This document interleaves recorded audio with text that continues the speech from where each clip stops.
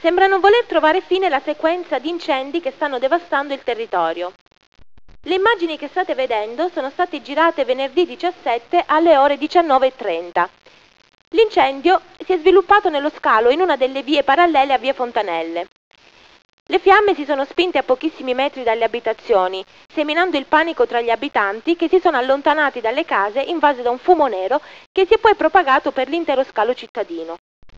Tempestiva la richiesta di intervento da parte dei cittadini e l'arrivo dei vigili del fuoco, che sono riusciti a domare la situazione resa ancora più complicata dal vento, che spingeva le fiamme sempre più vicino alle case.